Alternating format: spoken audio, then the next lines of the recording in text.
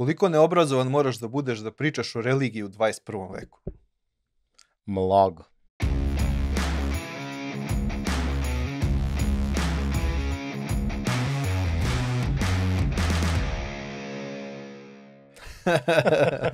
to je bio jedan od komentara koje smo dobili a, na našem prvom podcastu i to je bio možda jedan ili dva negativna.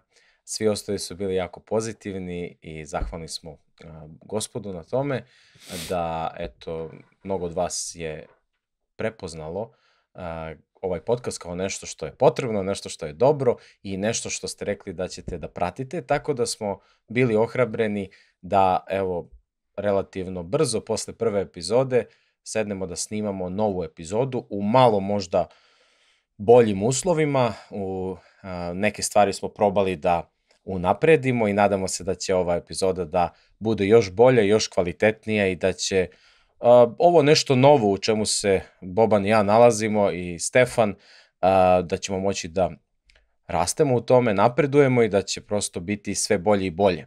I imamo jako, jako interesantnu i zanimljivu temu baš u ovom periodu godine u kojem se nalazimo. Bobane, možda kažeš nešto više o tome Danas šta smo izabrali? Danas ćemo da razgovaramo na temu ko je ukrao Božić i zašto je to Deda Mraz.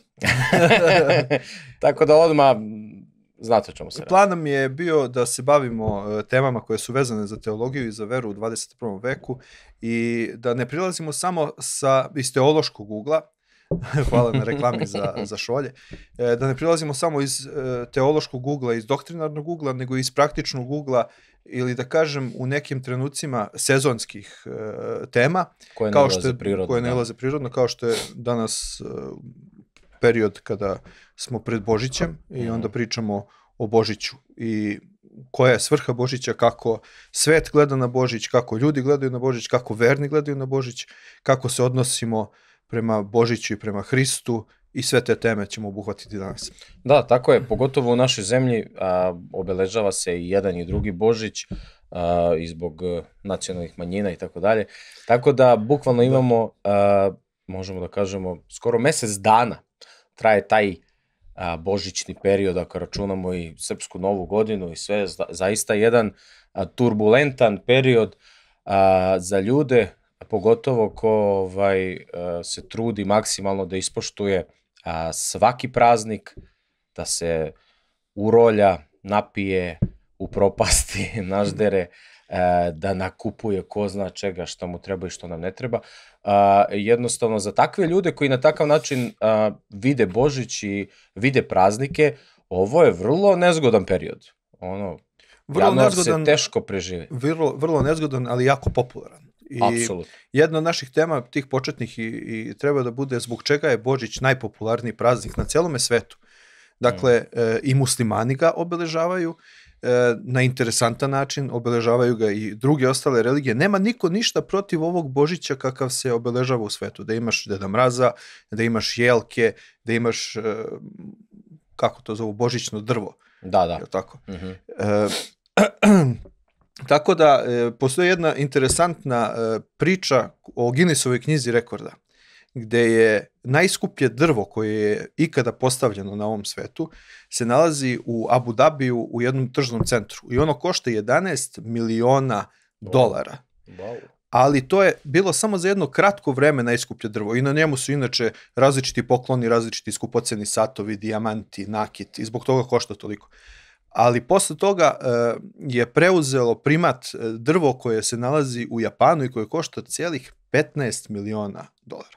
I zamislite, Abu Dhabi se nalazi u zemlji koja uopšte nije hrišćan, hrišćanska. Da, to to je Japan- muslimanska zemlja. Japan je isto zemlja koja uopšte nije Oni su hrišćanska. budisti, ja mislim. Oni nešto. su konfučijanisti, ima Da, svačega tu, ali zapravo, jest, da. imaju religiju koja nema nikakve veze sa, Sa sa, hrišćanstvom, ali je njima opet e, Božić na ovaj način jako prihvatljiv i jako poželjan e, i jako popularan, jer se u stvari Božić bavi u ovom svetu, e, gledajući i posmatrajući, Božić se bavi poklonima.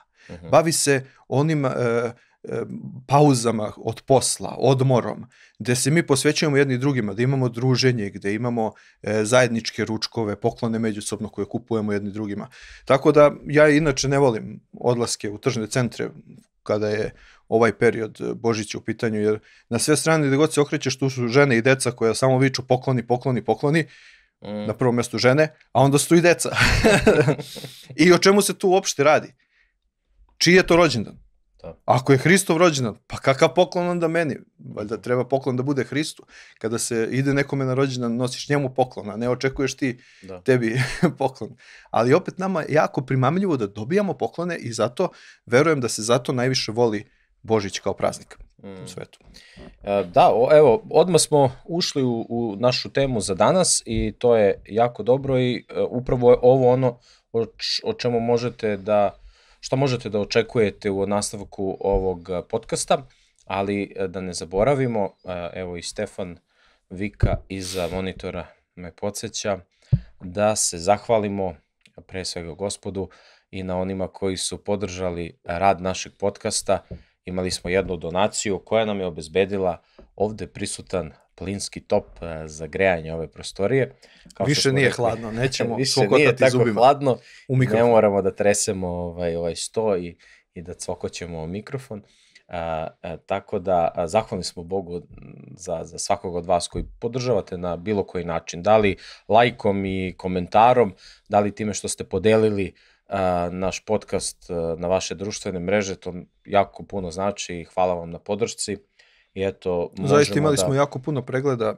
Ja nisam očekivao toliko Nije, pregleda. Evo, Stefan Vika to... je bio uh, onako baš pozitivan. On je proročki. On je proročki rekao za tri da. dana biće bar 2000, bar 1000 pregleda. Da, da. I zaista smo prešli 1000 pregleda u, u roku od 1000 pregleda svaki tri dana. dana. Uh, jedna, jedna žena mi piše na Instagram, uh, baš ja gledam, ne znam, Stefan mi poslao kao vidi koliko ima pregleda. I ja kao, wow, fantazno, mislim, nisam verovao. Uh, I jedna žena mi piše na Instagramu, baš mi je žao što imate ovako malo pregleda da, da, i što da. ovako kvalitetan sadržaj, sadržaj gde se govori o gospodu, o teologiji, e, što nema više pregleda. I, i super, ovako, napisala, ne poznajem tu, tu gospođu ili ženu, e, napisala mi je poruku da me ohrabri, da, da nastavimo u tom a, smeru A, a ja sam ono u fazonu, ma, ma pusti, ovo je super, mi nismo, super, mislim, da. ovome nismo nadali, mislim. E, svakako e, ne pravimo sadržaj radi kvantiteta i, i brojki, nego se trudimo da bude kvalitet u pitanju i da pričamo o tim nekim temama koje a, ne zanimaju mnoge. Da, ali koje zanimaju da zaista dobiju prave odgovore iz teološkog ugla. To i jeste je. bila poenta i to i jeste svrha uh, ovog podcasta i, i ja sam zahvalan zaista i na ohrabrenjima. Dobio sam tako puno poruka e, gde ljudi zahvaljuju za Bogu za taj rad i e, hoće da se mole za nas, što nam jako puno znači i zaista nam i trebaju vaše molitve i vaša podrška. E, drago mi je što ima dosta komentara. Zaista uh mhm. -huh. imali smo one isečke rilse koje smo e, delili i na TikToku i ima jako interesantnih komentara. Ima pozitivnih, ima par negativnih kao ovaj sa kojim da, smo da. počeli podcast i zaista ljudima jeste čudno da se neko bavi religijom i da se neko bavi uopšte razmišljanjem o teologiji u 21. veku. Kao da, da je to nešto nenormalno. E, iz nekih uglova i jeste nenormalno, ali ako se uzme sveto pismo, kao što smo rekli na prošlom podcastu, i ako se gleda sveto pismo kao pismo od Boga koje je dato ljudima, sve to postaje totalno relevantno i totalno aktuelno danas. Mm. Tako i da po pitanju ovog e, Božića danas ćemo isto proučavati kako i sveto pismo gleda na, na Božić, kako gleda na te sezonske praznike, da kažem, ili sezonske teme koje se dešavaju i na koji način Bog posmatra na ono što se dešava svakodnevno, da kažem. Ne samo sezonski, nego i svakodnevno u našem životu. Da li je Jelka greh? Da li je Deda Mraz zločinac? Da li je u redu kititi kuću? Da li je u redu ići po badnjak e, za Božić? Da li je u redu uh, praviti božićne trpeze, šopinge i slično? Na sve te stvari nećemo baš odgovoriti, neke hoćemo, neke, ho neke nećemo, ali uh, jedna jako važna stvar se nameće iza cele te priče. Same po sebi ove stvari koje smo nabrojali nisu greh. Drvo ne može samo po sebi da bude greh. Da. Lik koji ne postoji Ne može sam po sebi da bude greh. A, ili, ne znam, dekoracija kuće. Da li ona božićna, da li ona, ne znam, jesenja, da li ona, nebitno. te stvari same po sebi ne mogu biti ni dobre ni loše. Ali ono što trebamo da vidimo i ono čemu trebamo da razmišljamo, ja se nadam da će e, Teolog i ja podcast da a, ljude prosto inspiriše da razmišljaju o ovim stvarima, jeste šta je nama bitno. Šta je nama prioritet? Gde se mi nalazimo? A, možda, možda drvo kao drvo nije greh, ali da li neko drvo prosto a, staje između nas i gospoda i sakriva pravo značenje Božića pravi smisao Božića. I to je ono što hoćemo i u ovom podcastu malo više da, da, da pričamo. Šta je to pravi smisao? Prosto, e, nijedna od tih stvari nije sama po sebi pogrešna, ali sve te stvari zajedno napravile su takvu gužvu u svetu, u našem društvu, da Božić je o svemu i svačemu sezona ovoga, sezona onoga, to je popularno danas, sezona davanja, sezona praštanja, je tako? Da. A, sezona Okupljanja. okupljanja, ljubavi, porodice, a, Nerada, jako bitno. nerada, da. da, čak neki ateisti, to nam je i Stefan pričao, e, jednu priču o nekom Stefan, ajde poznaniku. Vole Božić. Da, da. Ateisti vole Božić, ateisti slave Božić, je li to moguće? Pa naravno da je moguće. Ka, šta ti ide u korist, što da ne, znaš, ono, zapišeš da slaviš slavu samo da bi imao slobodan dan. Isto tako i mnogo i za Božić. Baš sam pričao sa, sa kolegom juče baš o tome. Gledali smo koji su dani slobodni, koji nisu u firmi i tako to. I on kaže, ja, vrate, pa imamo 25. i 26. pa onda tamo, znaš, prvi, drugi januar, pa to ti je godišnji, ništa ti nisu oduzeli od, od svojeg godišnjeg odmora, a dobio si godišnji, mislim, to je fantastično. Ja kaže, ja iako sam ateista, ja ću to da slavim. Tako Da, ima razlog zašto slavi. Da. Da, da, da. Kao neki što ih ja mnoge poznajem, e, daju krv samo da ne bi radili. ne da bi bili humani, nego idem da dam krv, ne radim dva Slobodan dana, dan, milina, da. slobodan dan. E, mnogi običaji e, kod nas, ali u svetu, vuka, vuku svoje korene u paganizmu. Mm. I onda je razumljivo zbog čega e, neki ljudi neće da imaju ništa, dakle po, pr- e, prekidaju potpuno sveze sa bilo čim što vuče koren iz paganizma. E, nažalost, u, u savremeno vreme, mislim, nažalost, e, nekako nam e, naš paganizam smeta, koji je domaći paganizam, a ne smeta nam uvezeni paganizam. Znači, kad ga da. uvozimo sa zapada ili odakle, sa severa, sa juga, obično sneg uvek dolazi sa severa, Mhm. e, kada ga uvozimo, onda nam nije toliko stran i nije nam toliko loš i nije nam toliko to je cool? To je, to je To je moderno. cool, da, to je, moderno, to je Da. tako svetsko to ponašanje. To će nam biti prihvatljivo u Sve što našim dolazi domovima. i, iz Amerike, vezano za te običaje božićne i ne samo božićne, sad vidiš ljude ono kao Thanksgiving i tako dalje, ovaj, sve što dolazi sa zapada, to je super, to je moderno i to se, pri... kao što, kako to može biti greh? A badnjak lakše ispred bar- kuće, Bar lakše gledamo, e, nije nam isti filter kroz koji provlačimo Nije, to. nije. Nekako nam bude prihvatljivije, ali ipak to nekako deluje modernije. Da. Ali kada je e, kada je badnjak ispred Mhm. kuće, onda joj, to je zlo, to je greh, to je Da. e, paganizam totalni. A u stvari, isto tako je paganizam i to drvo. Mm. božićno drvo, kao što je paganizam i ako tako vuče gledaš, korene, ako gledaš tako. da je sve iz paganizma, onda je sve iz sve iz paganizma. paganizma. Oblačenje Znači- e, tako slobodno za dolazak u crkvu je isto tako paganizam. Da. Jer vuče svetske korene i sasvim nam je grand oblačenje postalo moderno i postalo Mm. popularno, da ga tako nazovem, Da, da. koje je u stvari više skidanje nego oblačenje. I to je postalo kao, nemojte osuđivati kao, na taj fazon se Da, sve gleda. ili u slučaju muškaraca dolazak u crkvu, pa čak i za te praznike, ali uopšteno dolazak u crkvu, Ležerno, onako. kao, brate, da si preprodavac a, sumnjivih kola i šapca, negde čekaš na carini u Mađarskoj, znaš, ono, a misliš da si kriminalac, znaš, ono, neka jadna trenerka i, i ne znam, ovaj... Ima i takvih, on uzmu papuče i šorc, znaš. A daj, U šorcu svira na, na bini. To ne verujem. Tako nešto, ili sam, sam čin, pa ne ideš, pa pred predsednika ne bi izašao, kakav god daje, ne bi izašao u, ovaj, u šorcu, ne bi te pustili, brate. Ne možeš u opštinu Da. ući u Ja sam imao situaciju u Mladenovcu ti išao da odjaviš tablice, mislim. Da. tako nešto. Da, mora u pantalonama. Mora u I, i ti dugačkim bio nogavicama. u ono, dugačkim nogavicama, leto bilo, ja nisam očekivao da ćemo da idemo ovaj, a, tamo nešto usput i ja sad kao, ajde, da li ću da te sačekam ispred e, supa, ovaj, ajde, reko, neću da uđem i ja, kad onaj e, na portirnici policajac kaže, opa, ti si krenuo tako. Da, da. Ja kao, kako? A još, e, š, nije mi bio šorc, ono, preko kolena mi je šorc.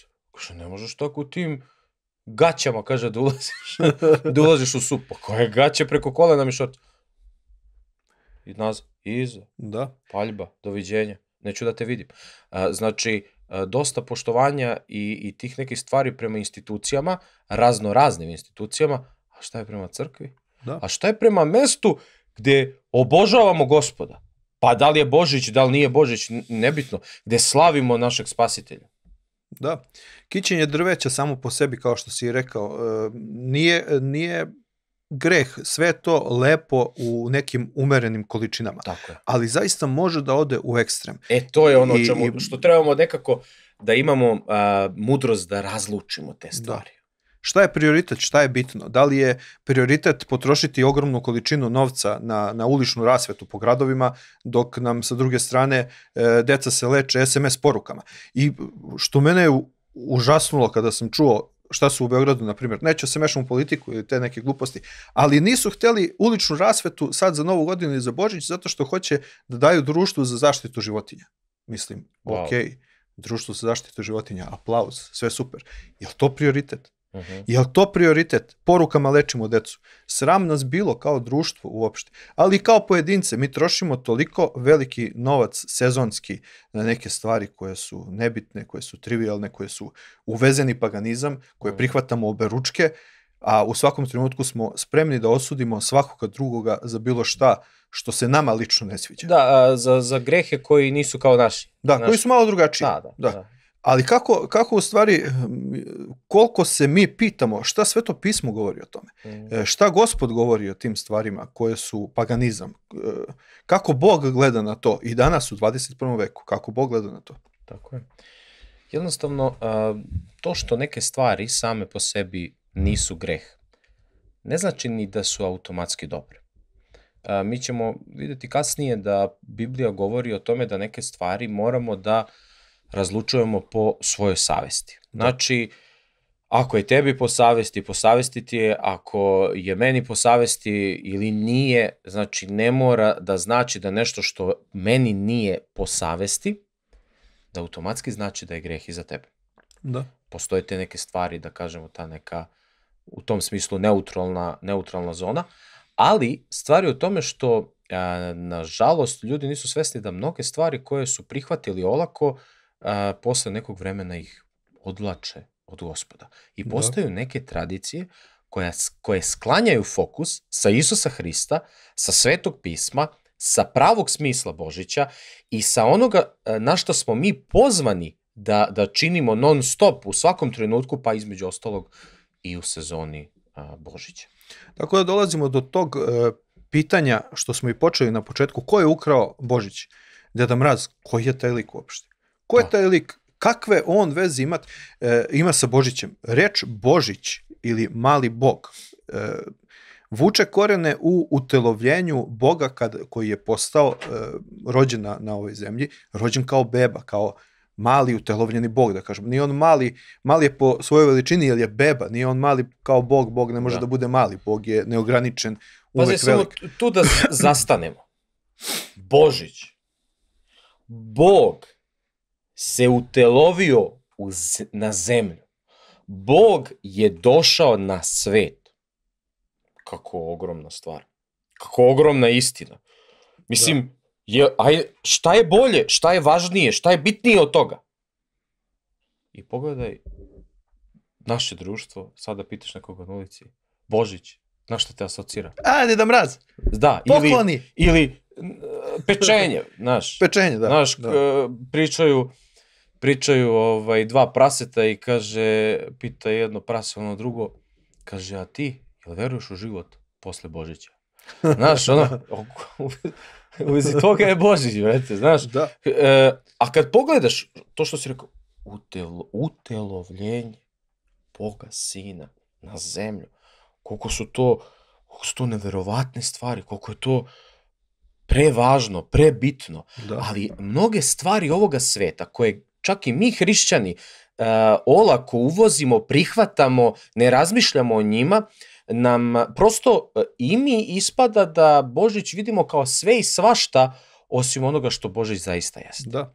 E, jako lako nam se podvuku tako neke e, slike koje dolaze od ovoga sveta da nam zamagle pogled i da nam odvuku pogled sa gospoda Isusa Hrista. Sećaš se šta si mi rekao jutros uh, u vezi bo, hrišćana i Božića, da je to, kako si ono rekao, jedini praznik Jedini praznik koji je prihvaćen od celog sveta, na to misliš? Da, ali gde a, nama hrišćan, hrišćanima je potrebno da se napominje. Da, ne zaboravi Hrista na Božić. Za Uskrs se ne napominje, jer Uskrs se radi o vaskrsenju gospoda Isusa Hrista, ali za Božić, pogledajte, znači, pokloni odlače pogled sa Hrista.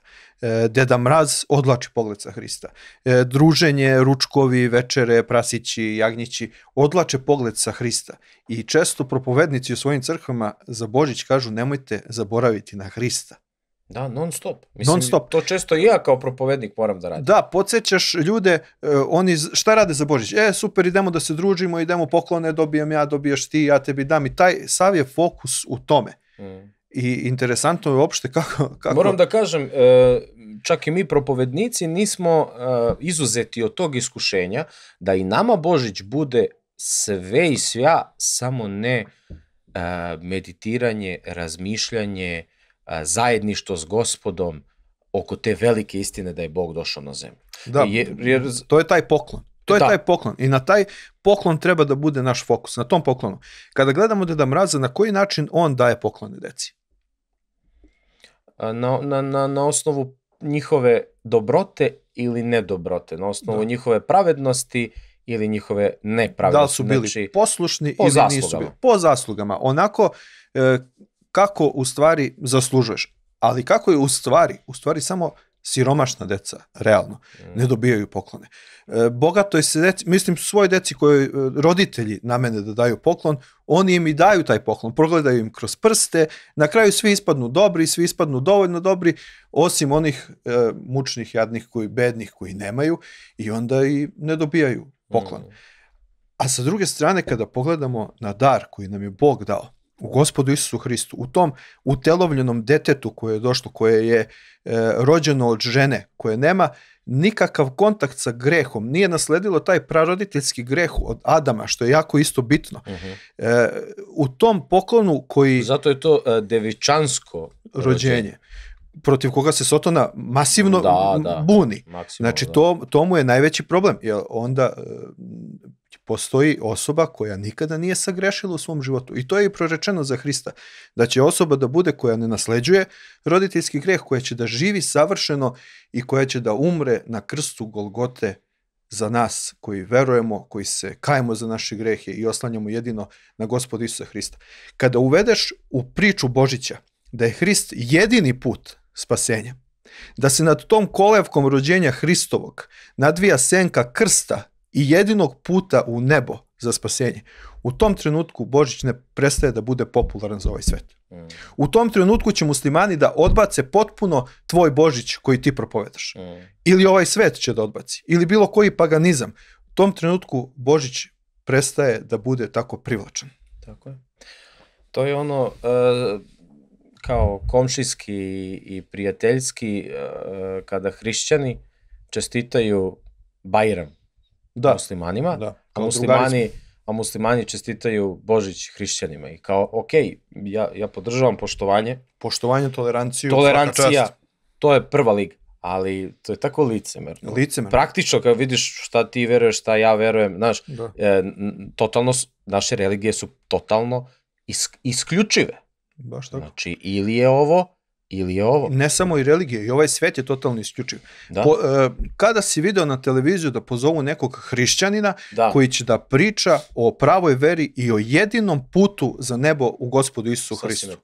Nikada toga nema. Znaš zašto da pozovu e, hrišćana? Da ga nekako pokidaju u toj emisiji. Da, da, da. Da ga iskidaju na sve strane, da, da mu postavljaju pitanja, da ga kušaju kao što su Hrista kušali fariseji i sadukeji, da mu nekako nađu, podmetnu neku zamku, ne bi li ga uhvatili u, u svoju prevaru i da ga ismeju, da, da pokažu kako te moralne norme kojih se hrišćanin prid- pridržava su zastarele, su smešne, ponašanje koje, kojim se ponaša e, je za ismevanje bukvalno, ali da, da kaže da je Hrist jedini put, kao što jeste, da iznese istinu onakvu kakva jeste, toga nećemo videti. Čak, nažalost, mnogi koji sebe nazivaju hrišćanima, će da se suprotstave i kada ovo budu slušali, verovatno će komentarisati e, e, negativno na ovo da je Hrist jedini put. Mm. Znači, preće da se suprotstave toj pravoj istinitoj izjavi koja se nalazi u Svetome pismu, zbog njihove tolerancije i da oni će lako reći Hrist je jedan od puteva A da. ka nebu, ali da je jedini put, to nema šanse. Mm. I pre će se posvađati sa mnom ili sa bilo kim, a u stvari kažu da su hrišćani, da veruju u sveto pismo, da se ponašaju po svetom pismu, a idu protiv te istine koje je iz svetog pisma. Ali onda imaš i ove druge ljude, ovaj, ekstremiste koji uzmu ono, sve produhovljavaju. Znaš, ajde rekao, okej, nećemo da se bunimo, nećemo da pravimo a, galamu nikakvu, nego ćemo mi naći u tom paganskom, mi ćemo naći nešto hrišćansko. Znaš, u taj Deda Mraz, on bi mogao da bude kao neki bog. On je u stvari bog, on je, samo ti pagani ne znaju kako, se, kako da se izraze, oni, samo, oni su tako lepo napravili nekog čikicu sa bradom, belom, razumeš, malo deblje, onako teže se pomera, ovaj, dugo je na zemlji, znaš, eto, on donosi poklone, odlaze u drugi ekstrem. Ne samo da ka- kažu, e, pa ti si preterao, ne, mi, mi ćemo to lepo da oblikujemo da bude malo više hrišćanski, onda se niko neće da. buniti. I vidiš da se niko ni ne buni time. Kad bi ti sad rekao da je da mraz malo liči onako na nekog boga, pa niko se ne bi bunio, niko ti ne bi rekao, evo šta. A da, Da, da, da. kažeš da da mraz, vrate mili ništa, odmah kao ne možeš ti to tako, ne možeš ti ovo, ne možeš ti ono, jer ljudi vole jednostavno taj misticizam. To je, svemu ljudi, tome. ljudi vole Božić bez Hrista. I kad si pomenuo, uh, da li danas možemo da čujemo, na primjer, na televiziji. Zamisli sad na nekoj televiziji sa nacionalnom frekvencijom da neki uh, brat u Hristu, koji je stvarno biblijski teolog, a, ima priliku da zaista objasni lepo o čemu se radi u vezi Božića. Ja se sećam kad smo delili a, paketiće a, u centralnoj Srbiji i došla je jedna, iako ja to nisam, nisam ja sam samo posredovao u tome i nisam insistirao da dolazi kamere da se snima, snima sve to, ali ljudi koji su primali, to jest organizacija koja je primala te paketiće, su insistirali da se to snima. I dolazi lokalna televizija. Znači, lokalna televizija, ono, u fazonu katastrofa, ono, na šta liči snimak, znači, katastrofa na šta liče one kamere, znači, to je ono praistorija. Otprilike, ja ne znam da li to neko gleda. Znaš, to je onaj kanal kojeg ima, imaju u toj opštini i to ti je to. Da. I ja kažem evanđelje. Kaže, zašto, uh, zašto ste podelili ove paketiće? I ja kažem, eto, koristimo ovu uh, priliku, koristimo ovu sezonu, da davanjem ovih poklona svoj deci pokažemo i uputimo na naše gospoda i Boga, spasitelja Isusa Hrista, koji je najveći poklon dat celom svetu da svako ko uzveruje u gospoda Isusa Hrista, koga prihvati kao svog spasitelja, ko se pokaje za svoje grehe, može da ima Isusa Hrista u svome životu kao spasitelja, kao da može verom po milosti, kao dar Boži, da primi spasenje u svojoj duši kroz gospoda Isusa Hrista i ukratko kažem evanđelje. I naravno, ajde kad da, ovaj, je već snimljeno, mene je kopkalo kako će to da izgleda. da. I sećam se, o, upalim TV, nađem to, pitao sam kad će izaći. I čoveče, oni su od, da kažemo, jedno 4 minuta, 5 minuta intervjua, isekli na nekih 50 sekundi. I u 50 sekundi su, i to namerno sam, da bi im bilo teško za editovanje, Znači, Hrist mi je bio početak i kraj rečenice. Da. Oni su uspeli da iseku deo gde sam pomenuo organizaciju koja je donirala paketiće, gde sam pomenuo da sam baš srećan da smo tu, t, t, t, t, t. I sekli su svaki put gde sam pomenuo, znači niti je bilo Hrista, niti je bilo evanđelja, znači zaključak tog editovanja i te televizije, u stvari oni su samo uradili ono što svi misle i oni su samo pokazali kako svi doživljavaju, doživljavaju Božić. Paketići može, Da. Deda Mraz može, pokloni mogu, a, sve može, Božić može, ali Hrist ne može. Hrist e, ne to može. je problem veliki. Da. Za njega To nema je mesta u. Tragedija našeg društva. A, a čudimo se što je ovako loše, čudimo se što se ovolike tragedije dešavaju, čudimo se što prosto kao, kao zemlja, kao narod, kao država, e, teško krećemo napred, e, teško se neke stvari menjaju, e, teško neke stvari idu na bolje. Jednostavno, hteli bismo blagoslove Bože, a nećemo Boga. Baš tako. Spremni smo uvek da okrivimo drugoga, da je drugi kriv što je nama loše ovako u, u, u našoj zemlji ili u našim okolnostima, a nikada ne gledamo prvo u sebe i šta smo mi zaslužili. Uh -huh. Da li smo mi zaslužili uopšte da bude nam bolje? Da li uopšte verujemo? Da li imamo, da li smo mi onakvi kakvi treba da budemo? Kakvi očekujemo da drugi budu prema nama? Da li smo i mi takvi? Ljubi gospoda Boga svojega svim srcem svojim, svom dušom svojom, svim umom svojim. Gde je to? Gde je danas? to? I ljubi bližnjeg svoga kao samoga, sebe. Prve dve i e, najveće zapovesti na kojima je bukvalno od kojih zavisi ceo, ispunjenje celog zakona, kako Da. da. gospod Isus kaže.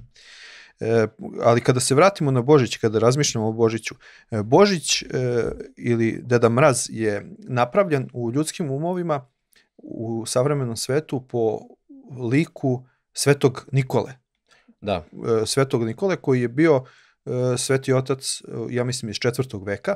ta sredinom četvrtog, Sredinom veka, četvrtog veka. je umro, čini mi se. I e, hteli su po tom liku da naprave Deda Mraz, ali ja sam ubeđen, sad kada bi Sveti Nikola znao kako je to iskrivilo sliku čak i njega samog mučnog, Da. e, da bi se okrenuo u grobu nekoliko puta znajući šta, Pa šta ti šta ljudi, su kako ljudi danas umru pa ne prođe 5-6 godina pa, pa onima što su ostali puna usta šta je ovaj želeo, šta je ovaj mislio, šta je ovaj hteo, on jedan ne može da se odbrani. Da, to Tako skroz e, odvuče sliku na onoga kako se on ponašao i kako je on živeo i zašto je on stremio, koji je njemu bio cilj njegovog života, koji je njemu bio preuzvišeni cilj da proslavi gospoda Isusa Hrista i na koji način je to radio kao pravi vernik Boži. Ono što znamo o Svetom Nikoli, dosta stvari koje znamo nisu baš proverene i znamo iz sekundarnih e, izvora, ali priča se da je bio iz bogate porodice Da. i da su mu roditelji ostavili veliki imetak, e, da su mu roditelji ostavili e, novca i poseda i tako dalje, da je on koristio, pošto se obratio, pošto je uzverovo u gospoda Isusa Hrista i počeo da sledi gospoda, on je koristio to bogatstvo koje mu je ostalo, ne da sam uživa u njemu, niti da se da nastavi da se bogati, nego je odlučio da sledi gospoda i da propoveda za gospoda i bio je čak i biskup a, nad a, crkvom i a, bio je poznat po tome da je siromasima davao Pomagao. poklone Da, poklon. novčano ovako onako. Sad tu ima priče da su koliko je to legenda, koliko je to realno, ne znam. E, ima priče da su bukvalno, e, da je prolazio i u cipele ljudi, ostavljao ispred vrata, kako je prolazio u cipele siromašnih ljudima, ostavljao novac. Tako da, I taj deo su uzeli da, iz ovog sveta i napravili e, Deda Mraza kakav, kakav njima odgovara. Slično kao što radi i ovaj svet sa Hristom. E, kada pitate nekoga kako, kako, da li veruje u Hrista, svako će reći da veruje u Hrista, ali u svoju verziju Hrista. da, da. S- To je primamljiv mislim Hrist, da jer je- ja mislim da je Hrist ovakav, da je Mhm. Hrist onakav. Koga briga bre šta ti misliš? da. Koga briga, pogledaj šta piše u Svetome pismu ako hoćeš iskreno da priđeš Bogu i da priđeš Hristu. Isto tako i za svece uzimaju, ja mislim da je ovakav ili onakav i onda hoće da preoblikuju neke stvari, a na one prave bitne stvari se uopšte ne vezuju. Ali ima jedna jako interesantna priča koju ću sada te zamolim da ispričaš u vezi baš Svetog Nikole i njegove revnosti za Boga i za Božju reč, za samo gospoda Isusa Hrista. Da, kako u nekim istorijskim knjigama nalazimo, a, Sveti Nikola je bio prisutan na prvom Nikejskom saboru Svetih Otaca, da ih je bilo preko 300 i gde su razgovarali o više a, tema. Jedna od tema je bila božanska priroda gospoda Isusa Hrista. A, pojavio se neki jeretik po imenu Arije, i Arije je kao sveštenik propovedao da, da je Isus Hrist prvo stvoreni i da nije kao e, deo Svete Trojice u rangu sa nebeskim ocem I u ravni. i u ravni sa nebeskim ocem i svetim duhom. Mi kao hrišćani i svi biblijski hrišćani i svi pravoverni hrišćani, bez obzira kojoj, a, kojoj a, direkciji, da kažemo, pripadaju, veruju da je Bog a, u svetoj trojici. Znači da Trojedin. a, trojedini Bog, znači Otac, Sin i Sveti Duh i da su oni jednaki. Ne, ni- nije jedan veći, drugi manji, nego su a, apsolutno jednaki. Tako da taj Arije, od kojeg danas a, teologiju pozajmljuju, a, tu lošu teologiju pozajmljuju, pozajmljuju Jehovani svedoci, brahmanisti i a, druge neke a, jeresi, a, taj Arije je propovedao da je Isus prvo stvoreni i da a, nije sin Boži. Kada je počeo te odvratne stvari, javno da priča pred ljudima, Sveti Nikola se potresao, nije mogao to da sluša. Nije mogao to da, da podnese, da taj jeretik se usuđuje da javno iznosi na, na, na ustima, na, na njegove uši te jeresi protiv bogočovečanske prirode gospoda Isusa Hrista. I kako kaže priča, sad ja ne znam, kako kažu neki istorijski podaci, a, Nikola ga je uhvatio za bradu, malo ga počupo, izviznuo mu tako jednu šamarčinu, da se momentalno učuto i prestao da lupa gluposti. I pazite, a, naravno kaže, kako to, mi treba da okrenemo drugi obraz, mi trebamo, ovo, mi trebamo, trebamo. Naravno da treba. Ali nije, nije Ako je Nikola upućeno ustao, ka nama. Tako je, bravo. Nije Nikola ustao, a, nije Nikola ustao zato što je Arije uvredio nešto njegov. Ovo, čovjek nije razgovarao s njim. Ovaj nije znao verovatno da li je ovaj tu uopšte. Nebitno, oni nisu imali nikakvu konverzaciju. Nego je njega uvredilo to što se on usuđuje da njegovog spasitelja i gospoda vređa i da govori tako nisko prema njemu. On nije to mogao da sluša i ustao je i začepio mu na jedan dosta praktičan način usta. Ne kažem da to tako danas trebamo da radimo i, ili da ne trebamo, ali jednostavno a, možete, možemo samo da zamislimo kako bi on, nesretnik, da je danas živ, da ustane iz groba, reagovao da vide šta se od njegovog imena pravi.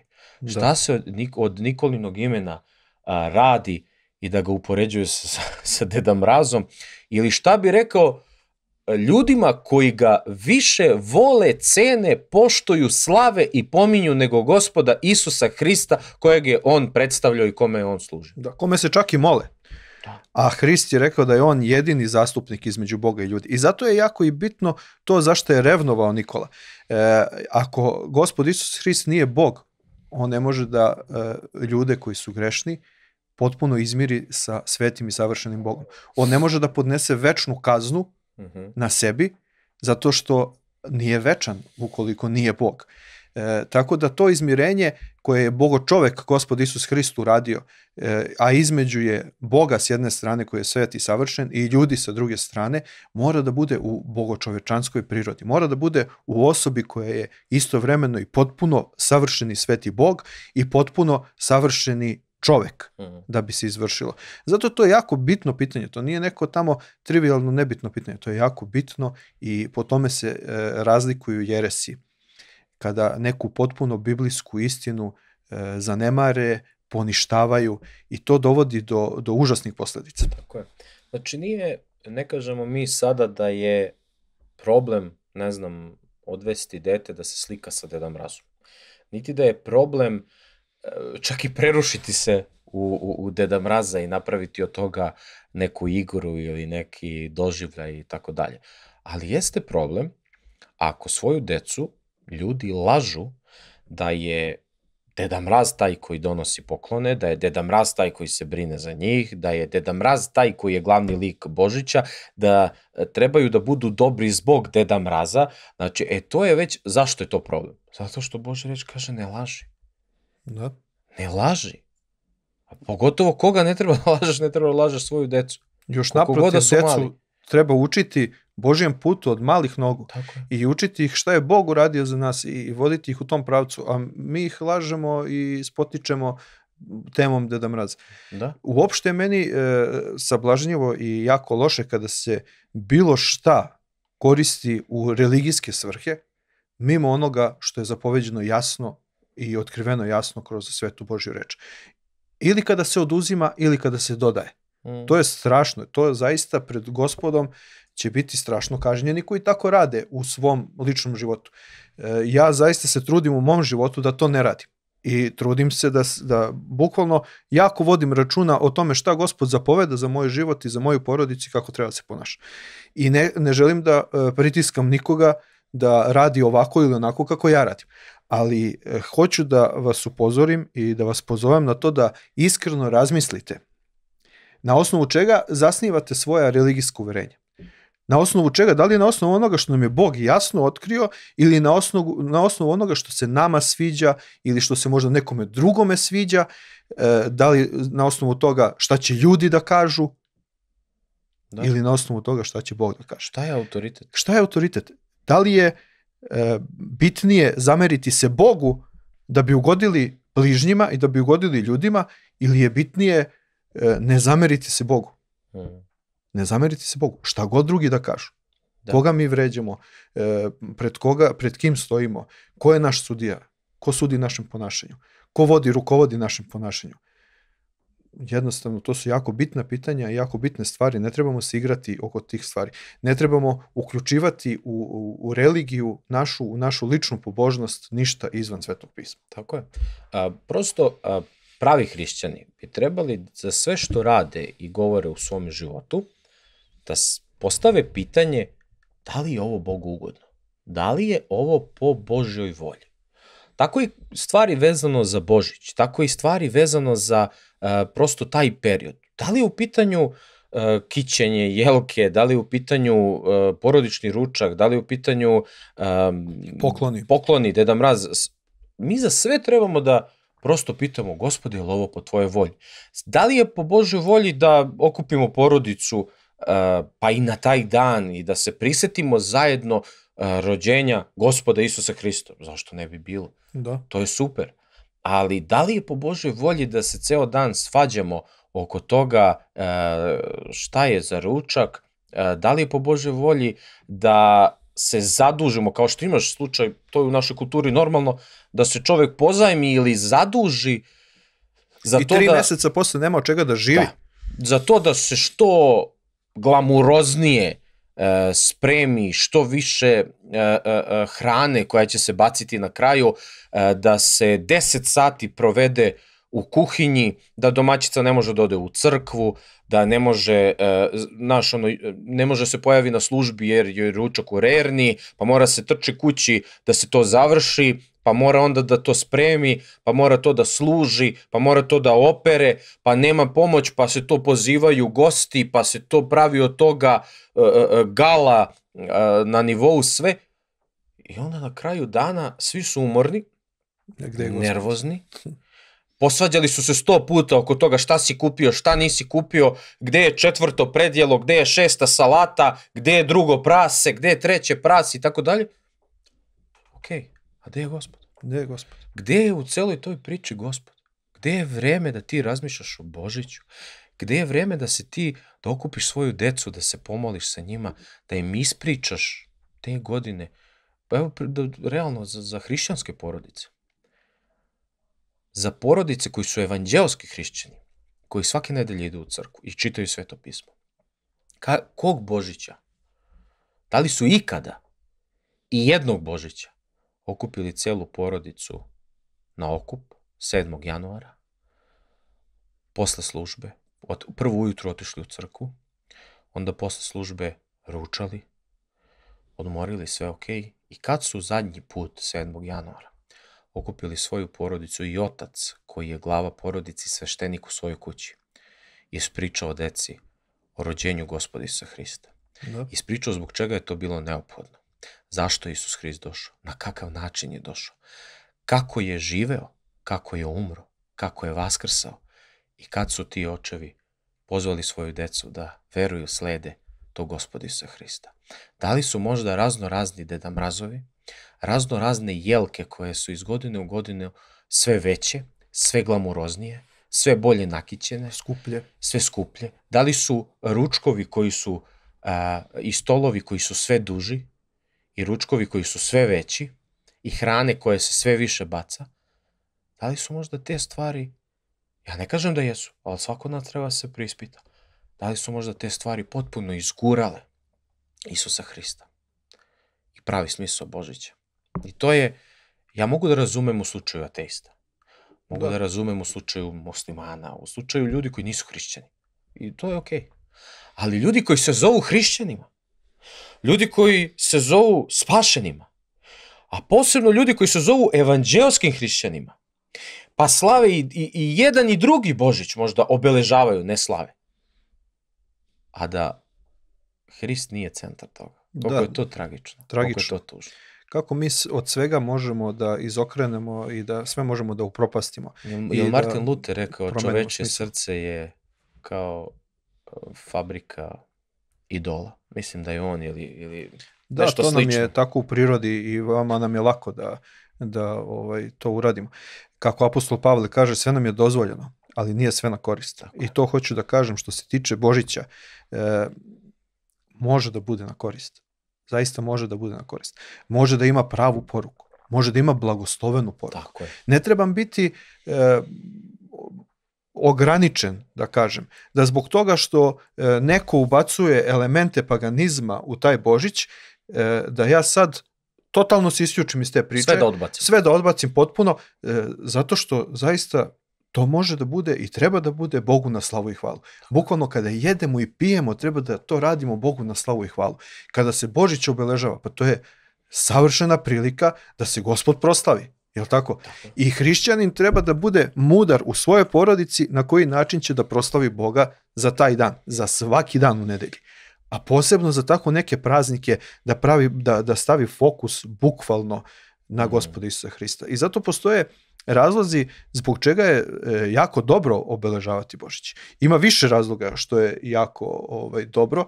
E, jedan od razloga i prvi koji bih napomenuo jeste da je jako važno redovno propovedati o utolovljenju Gospoda Isusa Hrista. O Gospodu Isusu Hristu koji je osoba najviše iščekivana u istoriji da, da dođe da se pojavi. E, zamislite to ovako. Nijedna osoba u istoriji nije iščekivana. Mm, Cezar nije iščekivan. Napoleon nije iščekivan. da. Karađorđe nije iščekivan. Mm, Gospod Isus Hrist je iščekivan. On se očekuje i, i e, gleda se na pojavu gospoda Isusa Hrista od samog pada u greh.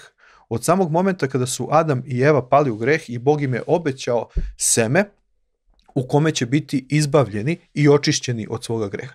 Dakle, od samih prvih praroditelja do rođenja gospoda Isusa Hrista, on je osoba koja se iščekuje. On je tako bitna osoba koja je trebala da se pojavi. I mi sa naše distance kada gledamo koja se pojavila u određeno vreme, kad? Kada je Bog po svom proviđenju tačno znao i odredio kada će da bude pravo vreme da se pojavi gospod Isus Hrist. Mm. Kada je u svom proviđenju i predodređenju najavio pojavu Isusa Hrista kroz sva proroštva i kroz sve upute na koji način su ljudi i gledali i očekivali rođenje gospoda Isusa Hrista. Tako je. A, čini mi se da dok se u našem srpskom narodu Božić slavio jako skromno, običaji su bili možda jedna pogača Da. i Krug porodice. krug porodice najbliže, suvo voće koje se sačuvalo a, preko zime, Sveto pismo koje se čitalo. sve to molitve koje su se Tako obavezno održavale. Deda ili ona glava porodice koji je bio najstariji, koji je čitao i učio decu o Hristu i o tome šta znači. Tako je.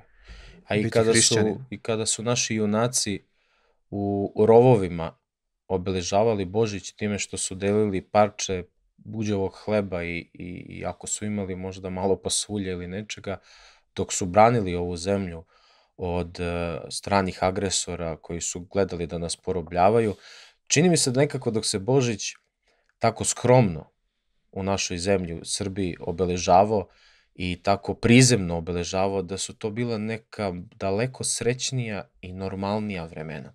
I da ova histerija koja se uvozi sa zapada, a koja, mislim, našoj grešnoj prirodi odgovara. Koja je da se- prisutna i na istoku, realno, Da, i da. u Abu Dhabiju, Da, i da, da. Japanu i svuda. Apsolutno. Da ta histerija koja se uvozi sa, sa tim kupovinama, sa tim ogromnim jelkama, sa tim a, ogromnim parama potrošenim na ko zna šta, to samo, samo zlo nanosi prosto našem društvu. I sve što nas zapravo, da idemo u suštinu, sve što nas odvaja od gospoda Isusa Hrista, kao centra, Boga Sina, kao centra Božića, je pogrešno, loše i vodi nas prosto u propast. Isus Hrist je centar Božića. Isus Hrist je glavni lik ove priče. Niko drugi. I ne možemo nikoga drugoga ni kriviti zašto mi to tako radimo. Tako. Našem telu jeste sve i svašta primamljivo, ali kao što smo rekli, nije nam sve na koristi. Trebamo biti zreli, odrasli hrišćani, odrasli ljudi i upravljati svojim životima onako kako treba. Pošteno i iskreno, ne kriviti druge, preispitati sebe i prići Božiću na taj način, na pravi način. Zamisli, evo sad ovo pitanje. Šta bi se desilo kada bismo mi koji sebe nazivamo biblijskim hrišćanima, mi koji smatramo da nas je gospod zaista spasio i promenio, da smo vernici, kada bi novac koji potrošimo na raznorazna, ajde da počnemo redom, kićenja, na raznorazne gozbe, na raznorazne poklone, na skupocena putovanja oko Božića, skijanja Da. i ne znam ti na čega, a, kada bismo taj novac uložili u delo gospodnje? Da. Kada bismo taj novac uložili u pomoć U našoj siromašnoj braći i sestrama u Hristu, a, udovicama i udovcima koji žive na ivici siromaštva, kada bismo uložili taj novac u širenje evanđelja, šta bi sve moglo da se uradi? Koliko ljudi bi mogli da budu blagoslovljeni na taj način? Koliko bismo mi sami bili blagoslovljeni jednim takvim drugačijim načinom, drugačijim pristupom, pa i tom prazniku i uopšte životu?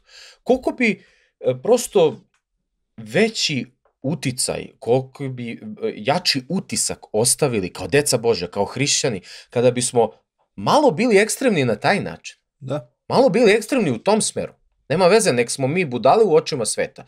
Nema veze, nek smo mi idioti, nek smo mi ekstremisti, nije bitno. Ali kada bismo malo više svog vremena i svog novca preusmirili u tom pravcu, koliko bi nam bilo svima lepše. Ima jedan biblijski primer kada se crkva zaista tako ponašala. Prva crkva kada se tako ponašala, kada su došli sa svih strana u Jerusalim i čuli za veru o gospodu Isusu Hristu i ljudi ostali tu i pošto nisu imali od čega jel, da žive, e, vernici koji su bili u Jerusalimu su rasprodavali svoja imanja i pomagali od čega će da žive, davali, brinuli se za njih, brinuli se za udovice, brinuli se za ljude koji nemaju, za decu koja su u siromaštvu. E, desila se jako jedna interesantna stvar na samo jednu propoved se obratilo 3000 ljudi. U jednome danu je 3000 ljudi prišlo gospodu Isusu Hristu, pokajalo se za svoje grehe, ostavilo potpuno svoj prošli način života paganizma i uzverovalo u spasitelja gospoda Isusa Hrista. Bog blagosilja te stvari. Bog blagosilja svaku našu žrtvu koja se čini za delo gospodnje i za proslavljanje gospoda Isusa Hrista. I zaista oni su e, jedan jako dobar primer požrtvovanosti, lične požrtvovanosti, kada nisu stavili ono svoje ispred svega ostalog, Mm. kao za Božić, što se često stavlja. Bitnije mi je e, pokloni, bitnije mi je sve ono moje, e, sve ono da to izgleda kako treba, od toga da se Gospod Isus proslavi. Oni Da. su stavili proslavljanje Gospoda Isusa Hrista u prvi plan, ne svoje udobnosti, rešavali su se svojih imanja. To je danas neverovatno. Ja ne čujem uopšte za te primere.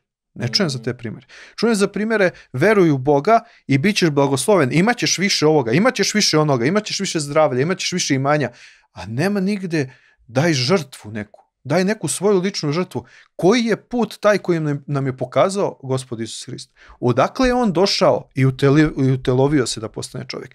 To je put žrtve, put poniznosti. On je ostavio nebeske blagoslove. E, svo ono okruženje u, u savršenstvu, u blizini sa Otcem Nebeskim, sa Duhom Svetim, u pravom zajedništvu, dubokom, u ljubavi, napustio je sve to i ponizio se, došao, postao kao čovek, rodio se u bednoj štali, koja čak nije ni njihov, njegovih roditelja, e, među životinjama, onim, nije za njega imalo mesta na ovome svetu. Uopšte mesta nije bilo za spasitelja ovoga sveta. I onda ne samo to rođenje koje kao Bog je mogo da izabere da bude u nekoj raskošnoj vili. Ne, on je namerno, ništa to nije slučajno, on je namerno izabrao da dođe najponiznije moguće, Mm. da bi nama pokazao primer poniznosti i službe drugima, jer veličina jeste u toj službi. I onda se ponizio kroz ceo svoj život, bio potpuno poslušan i došao do same smrti na krstu Golgote koja je najstrašnija, najsurovija, da kažem, smrt posebno što je prema nekome ko je savršen, ko je potpuno bez greha i to je prihvatio na sebe, to je uzeo na sebe. Gde je nama taj život? Gde je nama taj život? Zovemo se hrišćani. Mm. Šta znači biti hrišćanin? Znači, po ugledu na Hrista, to znači biti Ići hrišćanin. njegovim. Ići njegovim putem. I živeti na taj način. Mm. I onda se nekad čudimo, pa zbog čega e, nam je ovako u svetu, zbog čega nemamo uticaj možda oko sebe, zbog čega ljudi ne veruju, zbog čega hrišćanstvo pravo nije primamljivo. Pa zato što smo mnogo tih običaja i mnogo tih zabluda uvukli u svoje hrišćanstvo, a izbacili smo Hrista. Dozvolili smo da nam Deda Mraz uhrade Božić, a zapostavili smo gospoda Isusa Da. Hrista. Dozvolili Koji je- smo raznorazne bajke, a sveto pismo... A Sveto Da pismo kaže ono- rođenjem Hrista, e, kaže, baš se pominje reč Emanuel, koja znači Bog sa nama. Znači, prisutnost Božija je tu sa nama. To je ono što je gospod uradio e, prilikom... Ajde sad da, Utelovljenje. a, pošto da ne, nije sve tako crno, ima nešto i belo. A, da sada pređemo na, da sada pređemo na a, pozitivne stvari. Da. Znači, e, ponovo, da se ogradim, nismo mi neki e, ludaci koji bi ukinuli e, jelke, mada, sad sam se setio, ja baš ovaj, ne mogu to da dokažem. Kad sam, kad sam došao u Bačku Palanku, i znaš ti to, Stefane? Jesi Čuo ti tu priču, ovaj, šta sam prvu, prvu stvar koju sam uradio kao pastor u Bačkoj Palanci? Izbacio si jelku, a? Ne, ne, Poseko je dve, jel? Poseko je dve. Jel dve bilo ili jedna? Bilo jedna, jel? A dobro, to znam. davno, davno, a, a, Ali mudro to nije uradio za Božić. E, nisam za Božić. E, kad sam došao, to jest ne kad sam došao, nego pre par decenija, a, ljudi u, u Palanci, u zajednici su posadili dve jako lepe jelke ispred, e, do ulice. I stvarno one stare slike što sam gledao, prelepo izgledaju, e, onako, dok su bile male i dok su Da, bile onako veličine. osrednje. Stvarno predivno je izgledalo to tamo ispred, do ulice i onako davalo neku lepu atmosferu. Međutim, godinama, ja ne znam sad to koliko, koliko to za 20 godina ili koliko već, e, to je naraslo, brate rođeni, baš onako Pa žestoko. sakrilo je zgradu bilo. Nije se ni videla ni tabla. Bukvalno da, i to pazi, e, posle nekog vremena da li se jedan bor osušio. To je u stvari bili borovi neki. Da. Da li se jedan bor osušio i onaj drugi bor što je do česme, on crpi vodu tamo, još se tamo u onom kanalu voda zadržava, pa to je buknuo onaj bor, pa to je neverovatno. Ja sam sto puta, prema što sam postao propovednik u Bačkoj Palanci, meni moja tadašnja verenica, prolazimo, idemo negde za, za Srem, za Ertevik, verovatno, sto puta smo tu prolazili tom ulicom gde, gde, gde sad propovedam i služim. I kaže, odmah posle perionice je crkva. To je zgrada crkvena. Ja vozim i gledam, sto puta gledam.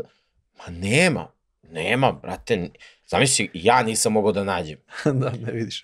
ja nisam mogao da nađem. Zamisli neko ko treba da Koji nađe... si tražio baš, Da, ko, a ko treba slučajno ko treba da vidi. slučajno nađe crkvu, nađe gospoda, da, da nađe, znaš, ja ne mogu da nađem što sam propovednik. Da.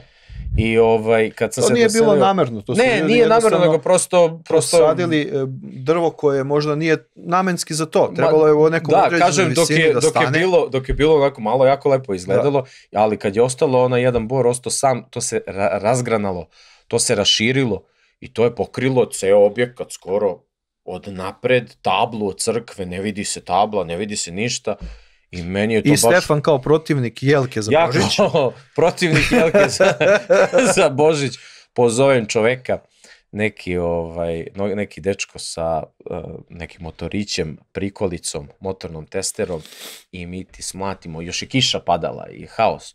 I mi ti smatimo onaj bor, pa to je bila traktorska prikolica dok smo to odneli čoveče. Znaš koliki?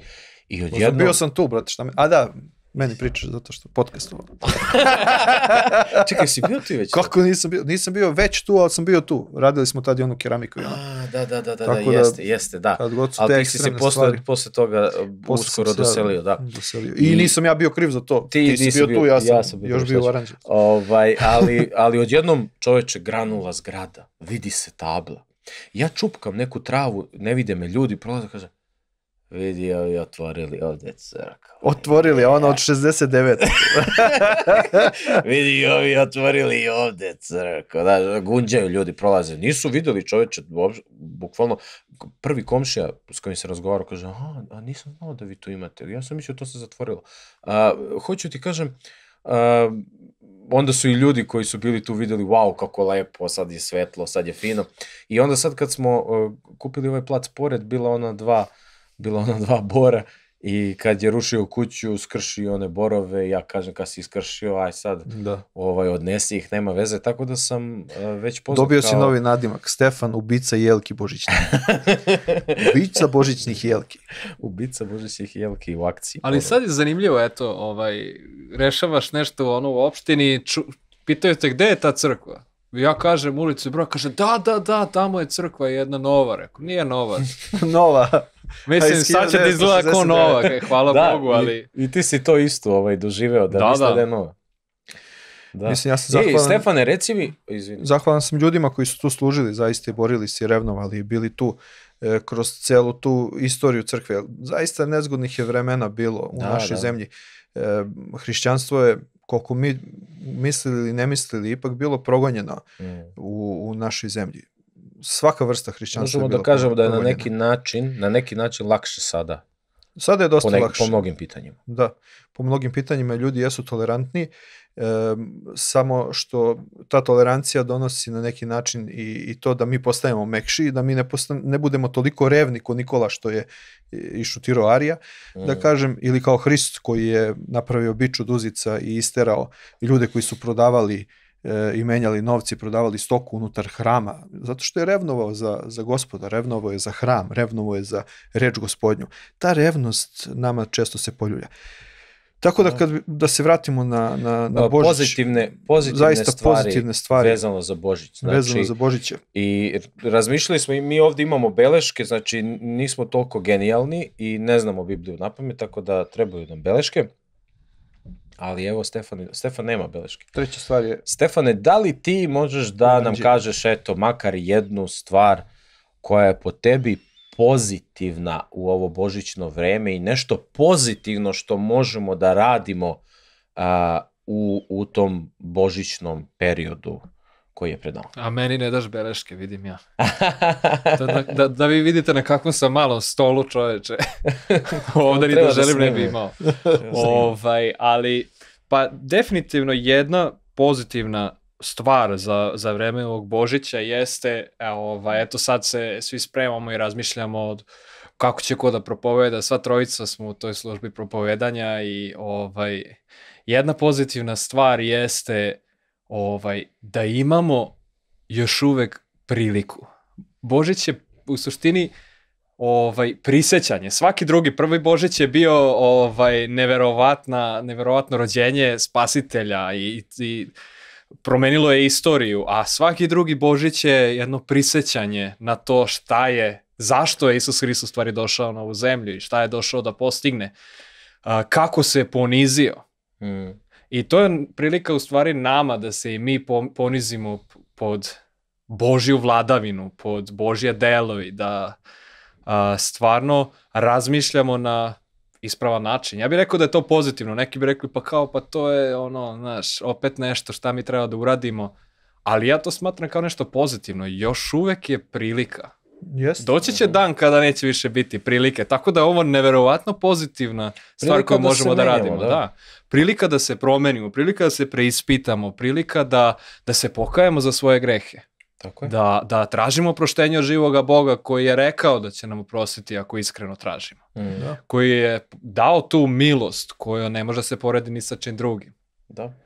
Prilika je da radimo ono što je i on radio Mhm. dok je bio na ovoj zemlji. Em, Prva poruka koju gospod Isus Hrist izgovara u svojoj službi jeste pokajte se jer se približilo carstvo Božije. Mm. To je poruka evanđelja i zaista je jako dobra prilika za Božić izneti poruku evanđelja. Tako. Pozvati ljude na pokajanje, na veru, na oslanjanje na tog Boga koji je... Mi ćemo ovog, uh, nije Božića, a, pošto na sam Božić što god da se organizuje nije dobro, uh, jer ne možeš da, da okupiš ljude, i ok, ali mi ćemo 12. januara ćemo imati božićni koncert. Dolazi nam hor e, koji će pevati prelepe božićne pesme koje upućuju na gospoda Isusa Hrista kao spasitelja, na Hrista kao onoga koji je smisao Božića. I koncert će dakle biti 12. januar, to je, čini Petak. mi se, petak. Petak u 7 uveče. Petak u 7 uveče u, e, na adresi Svetozara Miletića 52. Kome treba više informacija može se javi, ko hoće potvrdi možda dolazak, dobrodošli. Da, Biće Ja- takođe i po, po našim stranicama, ovo je dobra prilika da reklamiramo i naše stranice, Instagram, Facebook, pa vidjet ćemo možda Da, nekako i u ukucajte YouTube da duhovna-.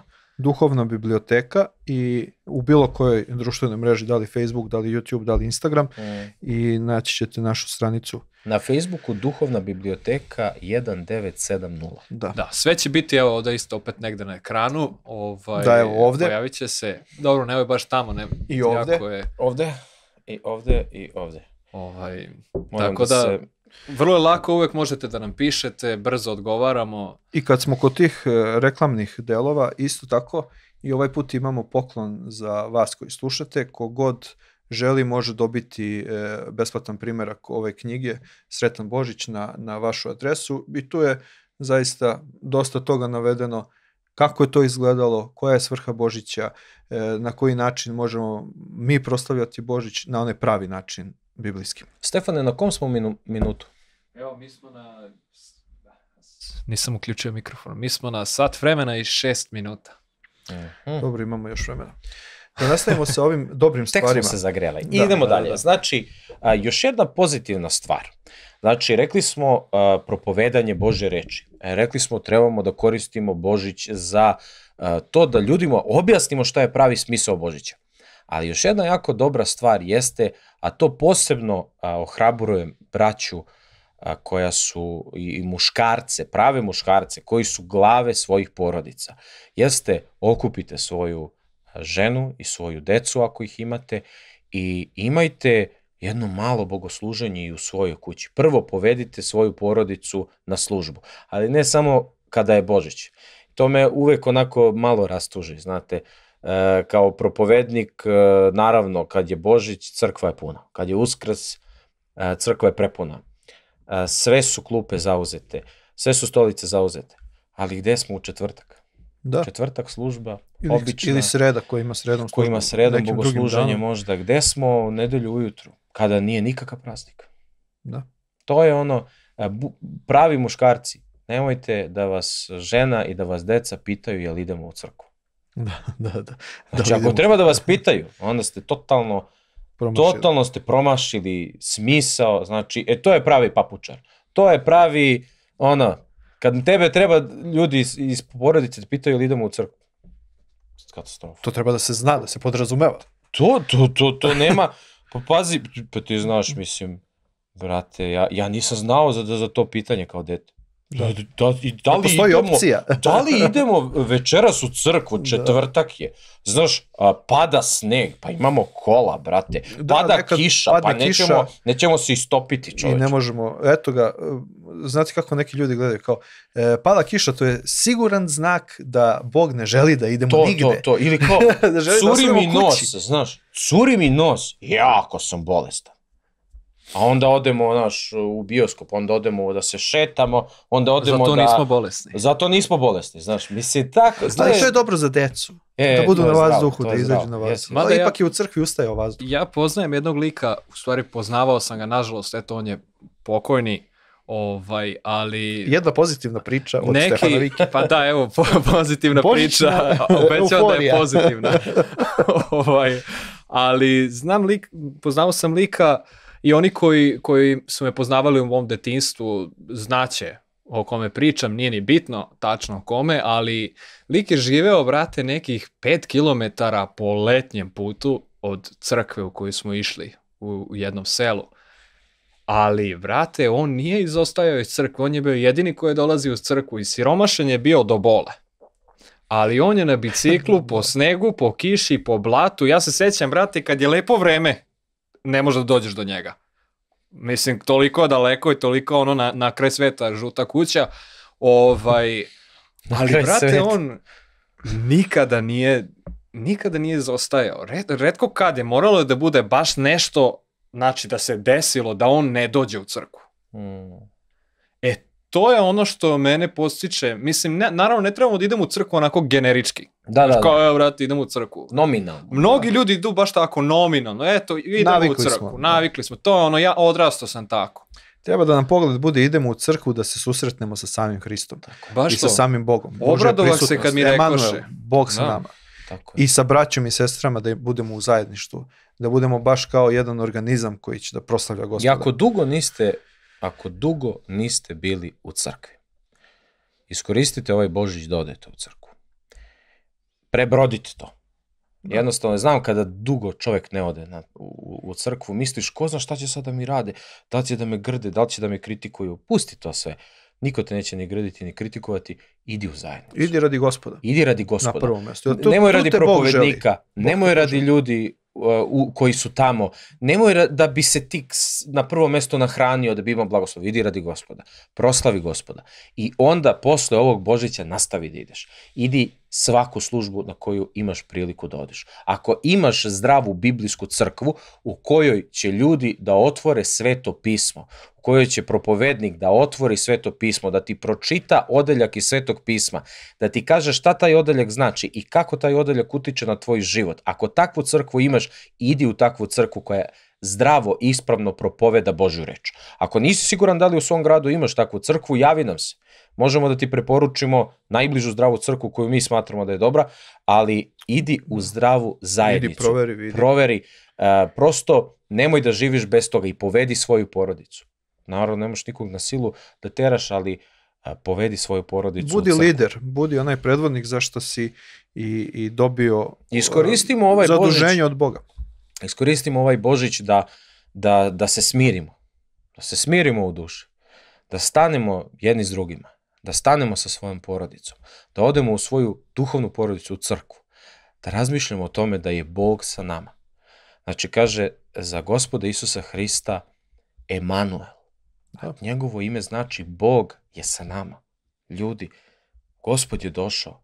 Gospod je došao na zemlju. Da bi nas spasio od gneva Božega da bi nas spasio od krivice koju smo bili, da bi nas spasio od kazne koja nas je čekala. Trebamo malo da stanemo, da razmišljamo o evanđelju za Božić. I da razmišljanje, razmišljanje o tom evanđelju, razgovor o tom evanđelju, a, počet će da menja i naše reči i naše Ponašanje. porodične odnose koji su možda loši.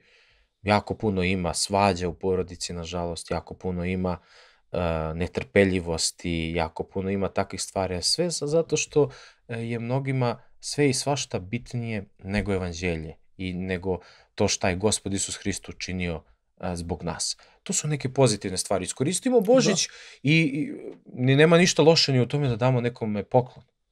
Ali možda razm, razmotrimo Da li u našoj crkvi postoji neka porodica koja možda malo teže ide finansijski u zadnje vreme? Ili da li postoji neki Boži sluga koji je nedovoljno plaćen za svoju službu, kome finansijski nije lako? Da li postoji e, neko ko je siromašan u, našoj, u našem okruženju, pre svega u našoj porodici prvo, pa u, u, u crkvi, pa možda u našem okruženju, na našem komšiluku, kome bismo mogli da damo neki poklon, da pomognemo na neki način i da kažemo ovo radim zato što je gospod pomogao meni. Da. Zato što je Bog dao najveći poklon a, celom čovečanstvu, a to je gospod Isus Hrist spasitelj. Jeste. To su pozitivne stvari. Znači, sve može da bude i negativno i pozitivno. Sve možemo da okrenemo i ovako i onako. Eto, ja vas ohrabrujem da, e, da jednostavno iskoristimo ovo božićno vreme da te pozitivne stvari radimo i, i potenciramo u našem okruženju. Meni je jako veliko ohrabrenje isto kada god se setim Božića i prvog Hristovog dolaska, koji je bio najavljen, e, isto razmišljam i o drugom dolasku gospoda Isusa Hrista. Jer kako je e, Bog veran svojoj reči, došao je prvi put, tako isto i dalje je onaj koji se ne menja i koji je veran svojoj reči i doći će i zaista i po drugi put. I mi kao hrišćani e, trebamo da iščekujemo drugi Hristov dolazak. Tako je. Ne treba da nas iznenadi drugi Hristov dolazak. Mnoge je, nažalost, e, u ono vreme iznenadio i prvi Hristov dolazak. Mm. Mnoge. Mnogi nisu nazivali su se deca Božija, ali nisu razmišljali o prvom Hristovom dolasku. Nažalost, nisu ga iščekivali. Znali su da, je, da bi trebalo, ali nisu bili toliko upućeni, niti toliko zainteresovani. Mi bi trebali da znamo da gospod Isus Hrist e, zaista uskoro dolazi, da nam to bude isto tako radosna vest o njegovom drugom dolasku, zato što iščekujemo spasitelja naših duša koji će prebivati večno sa nama. Koji ne iščekuju sa radostom, taj, sa radošću taj drugi Hristov dolazak, treba da se jednostavno zapitaju zbog čega se ja ne radujem drugom Hristovom dolasku. Da li je to moguće da, da me ta činjenica plaši? Uh -huh. Ako me plaši, šta treba da uradim da me ne bi plašila? Jel to treba da bude zaista radostan dolazak, drugi Hristov dolazak? Tako je. E, najbolji način da se i ovo božićno vreme provede je svakako kroz u Bože reči. Ja preporučujem da možda u nekim od čitanja Bože reči bude i e, sveto evanđelje po Mateju. Evo ja čitam iz Karadžićevog prevoda. E, prva glava kaže 21. stih prve glave. Pa će roditi sina i nadeni mu ime Isus, jer će on izbaviti svoj narod od greha njihovih. A druga glava počinje sa prvim stihom koji kaže kada se rodi Isus u Vitlejemu judejskome za vreme cara Iroda, a to dođu mudraci od istoka u Jerusalim i kažu gde je car judejski što se rodio?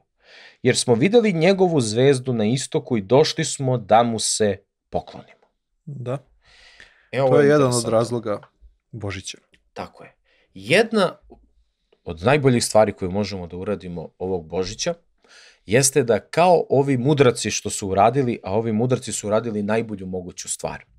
Oni su upravo, kako su oni znali, oni su došli sa dalekog istoka, verovatno negde s teritorije Vavilonskog carstva. Najverovatnije da a, pisanja proroka Danila, koji je bio u ropstvu u Vavilonu, su ostala, pošto su oni u Vavilonu jako precizno be- beležili istoriju i beležili e, sve živo, verovatno da su pisanja o Mesiji koji treba da dođe, a to, to je tema celog starog zaveta, govori o Mesiji, spasitelju i skupitelju koji treba da dođe, ostale su ostala su ta pisanja i došla su do ovih mudraca, do ovih da kažemo moderno naučnika, koji su čuli, saznali i koji su iščekivali tog Mesiju. Da. I Pošto... Danilo je to jako e, jasno objasnio, specifično objasnio da je zaista moglo da se izračuna i da je to u stvari jedino moguće i vreme bilo u istoriji kada je po proroštvima Hrist mogao i trebao da dođe. Tako je. I pošto su pošto su iščekivali Mesiju i pošto Mesija znači car, kralj, vladar, Gospodar. Da. gospodar, gde su oni očekivali da će pronaći Isusa tog prvog Božića? Očekivali su i vidimo da su pokucali na vrata dvora. Da. Pa gde bi bio kralj? Verovatno je na dvoru. I onda su otišli na dvor, otišli da pitaju, kuc, kuc, dobar dan, dobar dan, tražimo Mesija, Mesija treba se rodi, gospod treba da se rodi, a oni na dvoru, šta, molim, ko, kako? Nemaju pojma. Da. Božić im se dešava, prvi Božić, godina jedan, razumiješ? Božić im se dešava, oni pojma nemaju. Ništa o tome. Ne znaju da je Isus došao, ne znaju da je Gospod tu. Pojma nemaju ništa. Kao što, nažalost, danas mnogi slave Božić. Pojma nemaju da pitaš kakav Božić, šta, Isus, Hrist, šta, nemaju blage veze. Interesantno je tu, oni nisu imali sve informacije, ali znaju vreme kad treba da se rodi, a uh, u Jerusalimu su imali potpunije informacije, Tako a nisu Da, očekivali. u Jerusalimu Zato su su, imali oni sve. su ih uputili Tako je. gde da idu. Tako je da, da to je interesantno. Poslali su ih u Vitlejem jer su istražili pisma i znaju da po pismu Hrist treba da se rodi u Vitlejemu. Kaže, sabravši sve glavare svešteničke i književnike narodne, pitaše ih gde će se roditi Hristo, znači gde će doći Mesija. A oni mu rekoše, u Vitlejemu judejskome, jer je tako prorok napisao. I ti Vitlejeme zemljo judina, ni po čemu nisi najmanji u državi judinoj, jer će iz tebe izaći čelovođa koji će pasti narod moj iz Rilja. Znači oni vrlo dobro znaju. Književnici, teolozi tog vremena, veliki umovi tog vremena, poznavaoci Biblije tog vremena, svi oni jako dobro znaju da Isus treba, to jest Mesija treba da dođe u Vitlem. Mudraci prelaze stotine i hiljade kilometara da dođu da se poklone Isusu, a ovi par desetina kilometara teško im dodu do Vitlema, provere, I vidimo da nisu ni otišli. nisu ni otišli. Nisu se ni poklonili. Znači, šta je prava mudrost? Prava mudrost da je vidimo kod ovih mudraca, mudraca jeste da su otišli i da su se poklonili Hristu. To isto pozivamo i vas da uradite bez odlaganja, idite i poklonite se Hristu. On je taj koji je najavljivan, on je taj koji je došao, on je spasitelj i car celog sveta. Tako je. Kaže, a kad videše zvezdu gde je stala, obradovaše se veoma velikom radosti. I ušavši u kuću, videše dete sa Marijom, majkom njegovom, i padoše i pokloniše mu se. Pa otvoriše dare svoje i darivaše ga zlatom i tamjanom i smirnom. Ono što je zanimljivo i što želim da vidimo iz eh, ovog teksta jeste da tog prvog Božića, prvog dolaska gospoda Isusa Hrista, samo su se neki poklonili. Da. Jako mali broj ljudi je prepoznao. Rođenje gospoda Isusa Hrista, jako mali broj ljudi mu se poklonilo. Ali drugi put, kada gospod Isus Hrist dođe, neće biti tako. Drugi put kada gospod Isus Hrist dođe, Božja reč kaže da će se svi pokloniti. Svako koleno. Svako ko će se Svaki jezik priznaće da je on gospod Bog. I to je ono što treba kada kažemo Hristos se rodi. Vajstino ja- se rodi. Vajstino se rodi. A, meni se jako sviđa taj pozdrav I meni isto. i volim ovaj, svaki Božić, tako pozdravim celu crkvu. Ali kada kažemo Hristos se rodi, mi zapravo isto tako kažemo i potvrđujemo da verujemo da Hristos ponovo dolazi. Da. Hristos ponovo dolazi. Vajstinu dolazi. A, ako Hristos ponovo dolazi, mi tu trebamo da se preispitamo gde se mi nalazimo u našem odnosu sa Hristom. I meni je jako žao što mnogi misle da je s njima sve u redu, da na osnovu toga što ispunjavaju neke, ne, neka dela zakona, da time što čine neka dobra dela, time što drže neke običaje, time što jako precizno drže veliki broj običaja, da to znači da je sa njima sve u redu i da pošto ima gorih ljudi od njih, da će ipak biti na kraju spašeni. Ali A Bože reći to nekada. Da li je zato Isus došao? Apsolutno. Da te potvrdi da kaže dobar si ti. Da, da. Ne trebam ti ja. Da, pa smisao dolaska gospodnjeg je onda potpuno, potpuno, potpuno, potpuno promašen. Kaže Filipljanima 2, 6 i 7, koji ako je i bio u obliču Božim, nije se otimao da se isporedi s Bogom, nego je ponizio sam sebe, uzevši obliče sluge, postavši kao i drugi ljudi i na oči nađe se kao čovjek. Neverovatan, neverovatan stih. Gospod Isus Hrist je došao i uzeo ljudsko telo. Zbog čega je gospod Isus Hrist došao na zemlju? Došao je da nas spasi. Od čega da nas spasi? Na prvo mesto od gneva Božeg. Zašto je Bog bio gneva na nas? Zbog toga što smo mi učinili greh. Mi smo učinili zlo. Mi smo jednostavno napravili dug, duhovni dug pred Bogom. Bog je rekao, ja vas stvaram, ovo je moj svet, ja sam pravedan, sveti Bog i živi se i radi se ovako. Čovek je odlučio da čini greh, odlučio je da radi suprotno od toga, a, svesno je ušao u neprijateljstvo sa Bogom, a sveti Bog mora da kazni svaki greh. Jer jednostavno Bog ne bi bio Bog da ne kazni svaki greh čoveči. I hvala gospodu što iako bi bio, iako bi Bog bio potpuno pravedan, da nas je tako ostavio, da propadnemo u svom grehu, jer smo tako hteli. I da celu večnost budemo kažnjeni. To da budemo kažnjeni da odemo na mesto pripravljeno Sotoni i njegovim demonima, u pakao, u večni oganj, u oganj koji gori a, sumporom, a, u oganj koji, u kojima se ljudi muče i duševno i bukvalno fizički pate i duhovno i na svaki mogući način u večni oganj koji jeste odvojenje od Bože ljubavi, ali je zapravo prisutnost Božeg gneva. Bog je prisutan u paklu, prisutan svojim gnevom. I pakao je mesto gde smo svi trebali da završimo, po pravdi.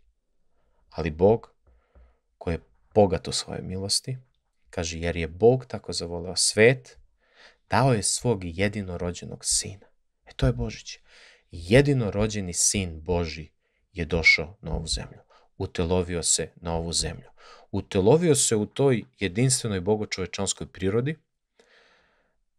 Baš takav je bio potreban da bi mogao da uzme, uzeo ljudsko telo, da bi mogao da na to telo, na sebi, da uzme naše grehe. I kao takav, Gospod Isus Hrist proživeo je savršeni život. Nije se samo rodio i nije ostao mala beba. Proživeo je savršeni život, učinio je, ispunio je svaku pravdu Božju. Jer, ajde što, što mi činimo greh, nego što mi ne učinimo i mnoga dobra dela i mnoge dobre stvari i mnoge pravedne stvari koje bismo trebali da učinimo, što je takođe greh, Bog Isus Hrist je sve to učinio. I dragovoljno se predao na krstu Golgote, dragovoljno se predao kao žrtva na tom krstu, i tamo zapravo uzeo naše mesto. Kazna koja je trebala da čeka mene, Stefana Ralevića, tu kaznu je uzeo gospod Isus Hrist i dragovoljno se predao da bude žrtva. Kaže Bože reč da bez prolivanja krvi nema oproštenja. U starom zavetu to su privremeno bile životinske žrtve e, do dolaska gospoda Isusa Hrista. U Novom zavetu to je Isus Hrist. Novi zavet u mojoj krvi ovo činite kad god pijete meni na spomen. Isus Hrist je prolio svoju krv da napravi taj novi zavet u njemu, da svaki koji prizove ime gospodnje bude spašen. Na krstu se desilo do jedna velika zamena. Isus Hrist je uzeo naše grehe, Isus Hrist je uzeo naše prokledstvo, Isus Hrist je uzeo našu krivicu na sebe, a nama dao, nama pripisao nezasluženo svoju pravdu, svoju pravednost, svoju svetost, svoju dobrotu. I sada to nije pripisano svakome automatski, ko robotima. Sada, ovog Božića, danas, kogod sluša i čuje, danas je odluka na nama šta ćemo da uradimo sa time što je Hrist učinio. Hoćemo li da stanemo pre taj krst Golgote i da se pokajamo za svoje grehe? Pokajanje znači ostavljanje svojih idola, svojih tradicija, svojih običaja, svojih onih loših koje nas odvajaju naravno od gospoda Isusa Hrista. Ostavljanje svojih idola i svog bezbožnog života i okretanje ka Hristu. Je služba, ljubav, život, rad za Hrista. Verovati u gospoda Isusa Hrista znači pouzdati se u to da je njegova žrtva na krstu Gogote dovoljna. Ono što je Isus Hrist uradio je dovoljno. Ono što je Isus Hrist uradio je sve što nam je potrebno da bismo bili spašeni. Verujem samo u gospoda Isusa Hrista. I kajem se za svoje grehe. I time što je Otac svetim duhom, kojim je Hrist začet, vaskrsao treći dan gospoda Isusa Hrista, zato je vaskrsenje neodvojivo od e, Božića, time što je Isus Hrist vaskrsnut svetim duhom treći dan, Otac je priznao da je prihvatio žrtvu koju je Hrist, u stvari objavio je da je prihvatio žrtvu koju je Gospod Isus Hrist podneo na krstu Golgote.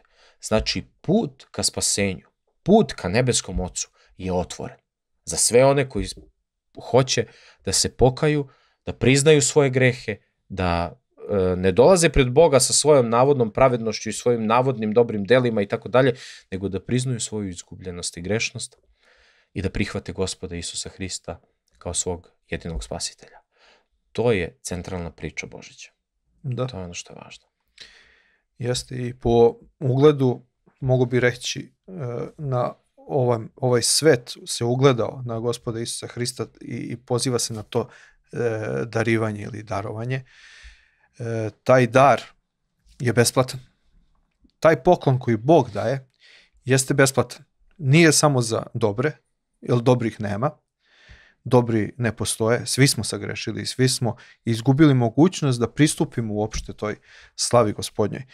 I zato je Hrist e, objavio i rekao da smo blagodaću spašeni kroz veru. To je dar Boži. Ne od nikakvih dela da se niko ne pohvali.